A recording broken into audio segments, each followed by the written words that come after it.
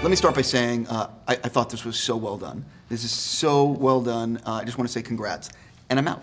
No. Oh, wow. Great, that was it. No, but if I was being serious, um, what hypothetically would you have borrowed from set? Because I know you wouldn't have actually taken anything from the set of this movie. Of course not. Of course. We didn't take anything, did we? We why why would we even repeat that? it was like I actually did um for the set uh, for for the card game we had to learn some trick moves like so like you know like rolling the the key- and rolling like the money and stuff like that flipping that stuff that so they did give us that. And I just practiced at home. I just walk around the house and like flip the the coins and flip the like the credits in my hand. And um I still have one. Right, of course. Disney come find me. I'd love to have taken the lever that we pushed Oh, to go yeah. into hyperdrive hyperdrive. Yeah, Hyperspace. I'd like to have had, had that. Yeah. So you, you have it or you No, no. wanted it? no, I would have liked to have had, had that, I think. But um, but actually, one of the model makers gave me uh, L3 had uh, uh, various different mouths at the beginning, and uh, he gave me one and turned it into a little brooch thing. which is Oh, so that's cool. awesome. That's Yeah, great. That's great. Uh, favorite Lando cape? Mini cape. Yeah, Mini Cape is my favorite too. Okay. Yeah. Uh, who was the first person you told you were cast, and how long did they have to keep the secret? Uh, I told my dad, and he had to keep it for. I think it was like a month or so, like kind of thing, which he did a great job of. Like it was, he didn't tell anybody, except my, you know, my mother. Um, but yeah, I told my dad immediately. I just, I wasn't, I know I wasn't allowed to, but I was like, sorry, like I just had to. Completely. Um, I was at dinner with a friend, and I was in her flat, and I got this call. So I went round into the, into her loo, and I was and I got the phone call, and then I was trying to be like. In the loo, and then I came out with a really red face. She was like, "You have to tell me what the problem." is."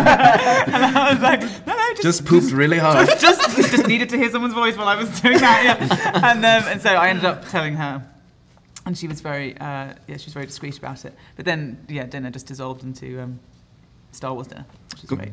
completely. Um, did you actually tell the story of the movie to anybody, or did you keep that uh, to yourself the whole time? Everybody. I didn't tell anyone. who didn't I tell? Who didn't I tell? um, no, I didn't. I was terrified to. I didn't say Yeah. anything to anyone. It was really hard to get the script. We never had the script really until like we were on set, and even then it was like on these iPad things that were updated physically. Like you couldn't update like Wi-Fi. It was very hard to like even know really what was happening until like far deep into the film. Uh, my last question for you guys: memorable moments from filming. Is there a day or two that you will always remember from the making of this film? Yeah, I mean, the going, being in the cockpit and being surrounded by this, the screen that meant that when we were taking off, it really did look like we were in space because they put an IMAX screen around the whole cockpit window, so you couldn't Yeah. see anything like that. And the thing was on hydraulics, so we were moving Yeah. too. And then do you remember that weird dance that, uh, that I ended up doing with um, with Joonas? I'll never ever forget that. Wh- When? I don't. Maybe you weren't there. I want. I want to know though now. I think Ron filmed a bit of it. You should share it. We're, there's no cameras here. You should share the story. no, it was like it was it was a night shoot and everyone was exhausted and Emilia had brought out her speaker to try and get Oh, everyone I do remember everyone that. going and she was playing some music and everyone was so tired they were just like oh and then um, for some reason I was I was like Really ah, feeling it. really feeling it and so and so was Chewy uh, so it was, and then eventually it was just everyone knackered in a in a circle and then me and Chewy just, like with each other like Really? for ages It was beautiful. and no one reacted at all. Um, it went on for a good few minutes, and then everyone was like, "Okay, so we're ready, guys. And then the music, like, let's get back into this." And no one has really spoken about it since. Yeah. When you said that, I thought you, uh, when she brought out something, I thought you were going to say dragons.